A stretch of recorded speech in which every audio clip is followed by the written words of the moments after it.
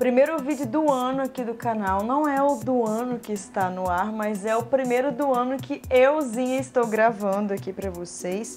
E a gente não costuma falar muito sobre isso aqui, né? A gente foca mais em relacionamento e tudo mais, mas é, fazer metas é uma coisa que tem mudado a minha vida, assim.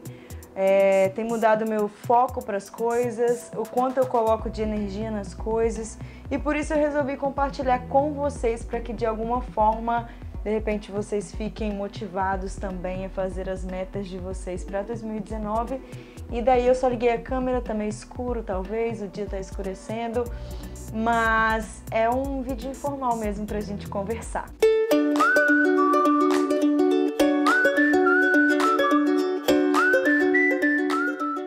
Se você tá aqui pela primeira vez ou ainda não é inscrito, se inscreve, seja muito bem-vindo. Eu sou Letícia Secato Comenta aqui também se você já fez suas metas para 2019. E lá no Instagram a gente tem live toda quinta-feira às 21 horas para a gente conversar, além de ter stories do meu dia a dia que vocês pedem muito e fotos muito, muito, muito, muito legais. Fazer metas vai muito além de uma tarefa, assim, né? É toda uma energia que você vai colocar numa coisa que vai movimentar o seu ano.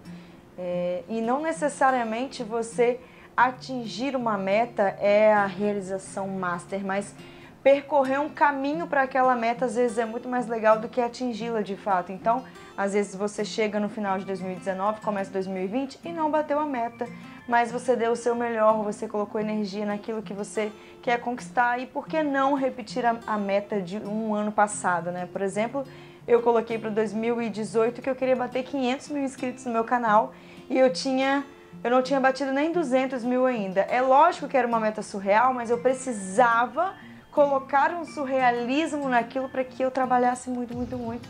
E foi o que eu fiz, eu trabalhei muito. Eu encerrei o ano com 294 mil é, inscritos e mesmo assim era como se eu tivesse 500, porque eu me senti muito satisfeita com o meu trabalho feito no, no YouTube no ano de 2018.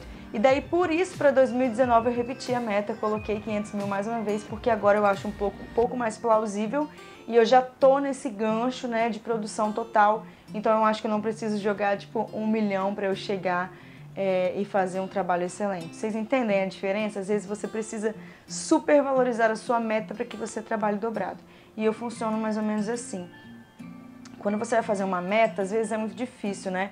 Não necessariamente todo mundo tem é, um objetivo específico, um plano específico, mas alguma coisa na sua vida você quer, isso eu tenho certeza. E, e às vezes a gente fica com muito medo de colocar isso num papel, com medo de não conseguir. Então tira isso da cabeça, pensa numa coisa que você quer muito, mesmo que essa, essa coisa esteja muito distante, talvez seja uma meta para 2024, mas você precisa é, colocá-la como 2019 para que você já comece todo um processo, né? E mais importante do que você escrever no papel é você executar. Então, sempre que eu faço uma meta, eu coloco os passos para realizar aquela meta e prazos também, porque senão, meu amor, o tempo passa e a gente não fez nada, tá? Então, eu vou falar das minhas metas de 2019, foi uma coisa muito pedida lá no meu Instagram. É, no Instagram eu acabo interagindo bastante com as pessoas via story e, e, muitas das vezes, quando eu não respondo alguma coisa lá, é porque eu vou jogar para o YouTube, tá? Então, minha primeira meta do ano de 2019 é chegar aos 500 mil inscritos. É uma coisa que eu quero muito, então se inscreve aqui se você está assistindo para me ajudar a bater essa meta, né? Porque eu sozinha também não, não é possível, mas eu vou dar o meu melhor para que isso aconteça.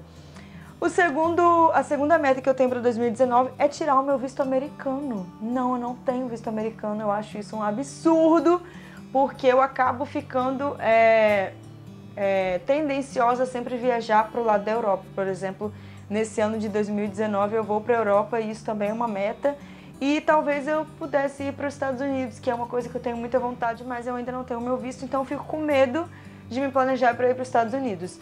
E era uma meta que eu ia bater em 2018 e eu não bati por N motivos. Eu tive que investir em outras coisas, enfim, minha vida virou de cabeça para baixo no ano de 2018, então algumas coisas eu tive que desistir no meio do caminho, mas não é desistir, é tirar de prioridade. Então eu tirei de prioridade para 2018, mas já coloquei como prioridade para 2019 e vou dar entrada ainda esse mês de janeiro.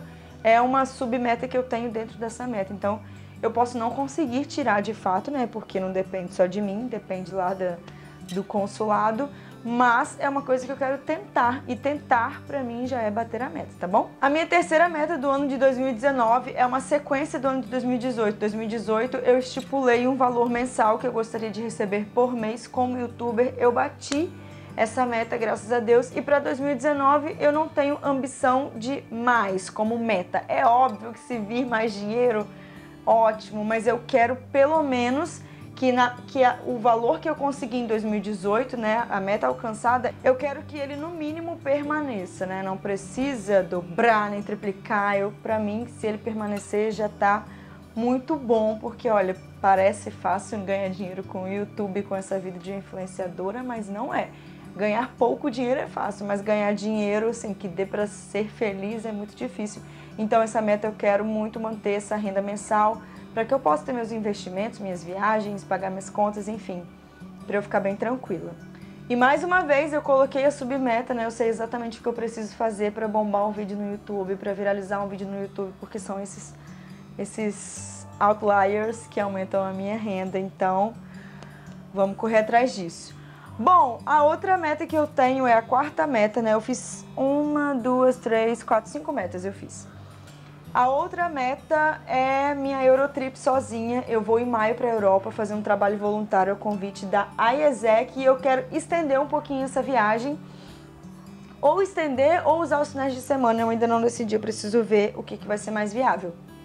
Para viajar pela Europa sozinha é um desejo que eu tenho, que era um medo há dois anos atrás. Eu nem, nem cogitava essa situação, essa, essa hipótese. Agora eu cogito e eu quero que isso aconteça. Então a minha Eurotrip sozinha é uma meta a cumprir que já tá tudo encaminhadíssimo.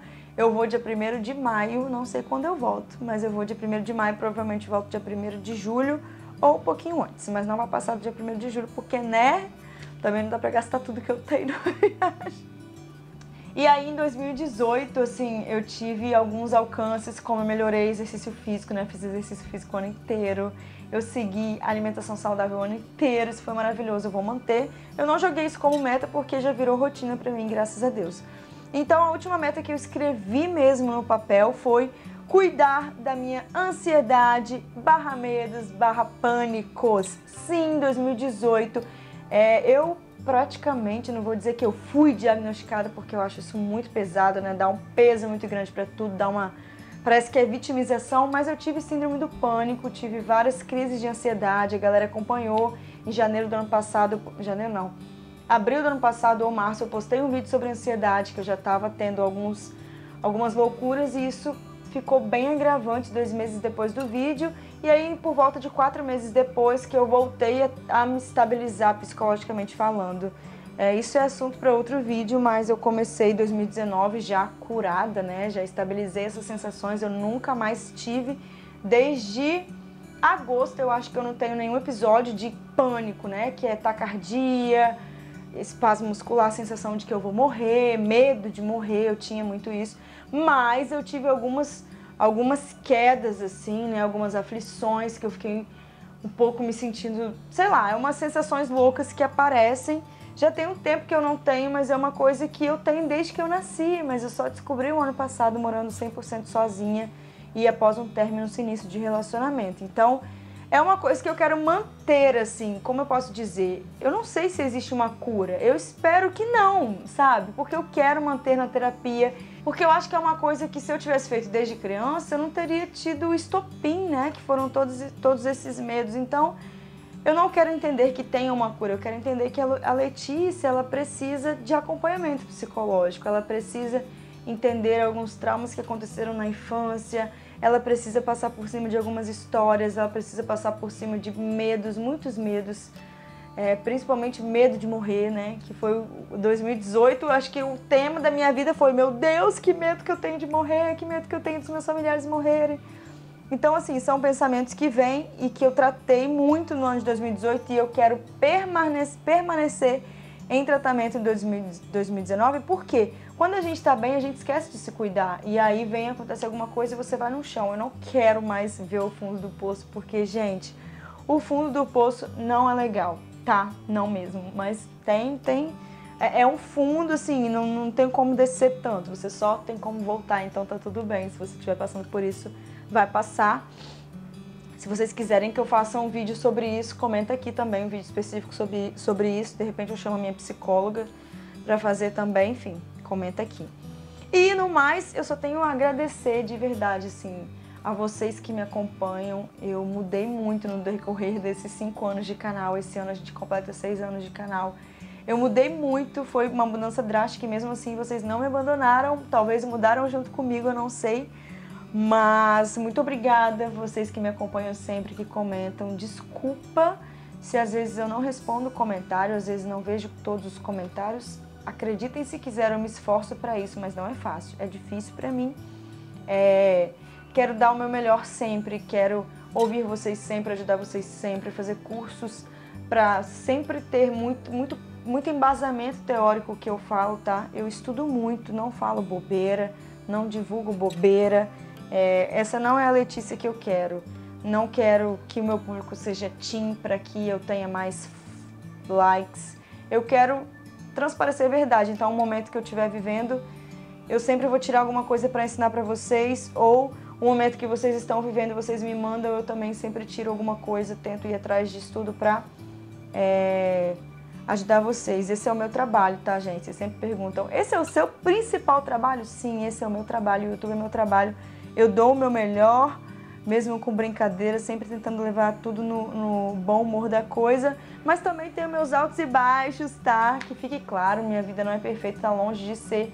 E nem busco perfeição, eu busco viver com saúde, saúde mental, saúde física. Que o resto, cara, o resto vem então, assim, agradecer muito pelo ano de 2018, desejar a vocês um ano incrivelmente incrível. 2019 vai ser o nosso ano, eu tenho certeza disso. Acredita que vai dar certo. Acho que mesmo com todos os problemas que estão por vir, 2019 vai ser o ano do sucesso.